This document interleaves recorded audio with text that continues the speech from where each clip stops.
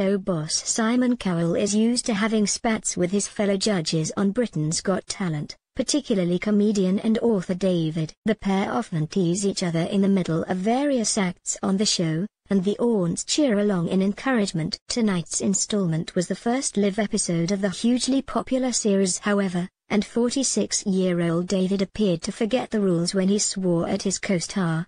The awkward moment came as a result of Simon's, 58, harsh comments towards one hopeful Golden Buzzer act Clifford Shillingford received rave reviews from the panel and aunts alike in his first performance on the show.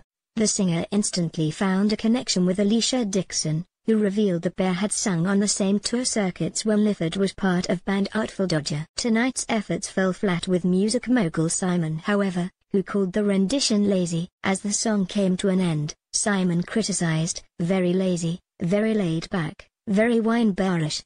Listening to boos from the aunts, Simon persevered to clarify his comments.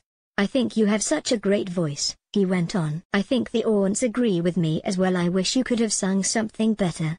Annoyed at the judge, David quickly shut him down. He declared, Simon Cowell, you are talking out of your ear again. It was beautiful, it was soulful, we always say on this show two minutes to change your life, that was astonishing well done. Amanda Holden and Alesha were on David's side as they also agreed the performance was a showstopper. I really hope that this is the start of something for you.